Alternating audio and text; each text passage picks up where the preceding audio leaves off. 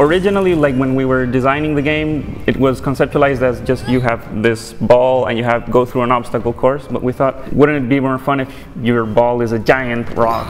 And the obstacle course is not just obstacles, but the entire enemy army. Uh, but the tone, of course, is silly. It's kind of Monty Python, the sort of humor. So we knew that we wanted to introduce from a design perspective something that felt fresh. Then there comes the mix between tower defense with the boulder mechanics.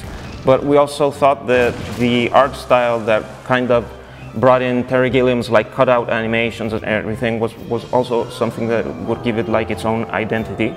The idea that you go through different periods of art history rather than just play entirely on a medieval setting I really wanted to add that in, like art history was one of my favorite classes and the idea of going through different art periods so we could do levels look very different, it seemed very fun.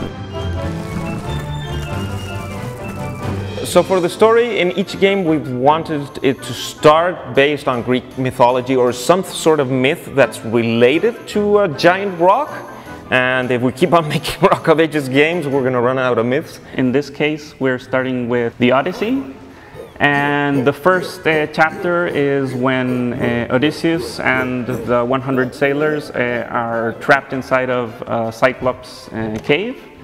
And in, in, this cave, the Cyclops uh, blocks the exit with a giant rock. And that, of course, is our character, the, the boulder.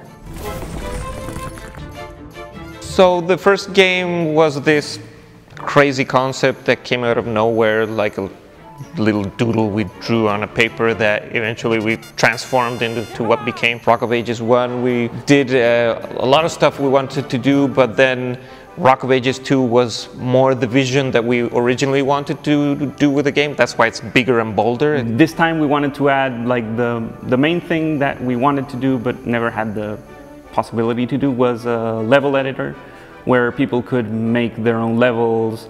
Uh, like it's a really big and fun feature. We're, we're trying to give the, the, the players as much freedom as they can to, to make their levels uh, as unique and different as possible. For Rock of Ages 3 we wanted you to be able to break more than ever before. That means you have more tile sets, more units to break, more boss fights and more of everything than ever before.